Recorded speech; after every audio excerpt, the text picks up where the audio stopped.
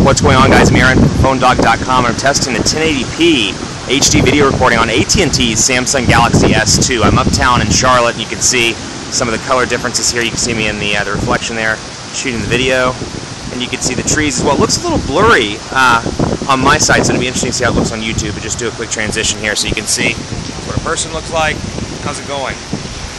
And let's spin it around so you can get an idea get some of the buildings here. Get Bank of America's 47 buildings that are in the uh, the uptown area. This is 1080p HD video recording on AT&T Samsung Galaxy S2.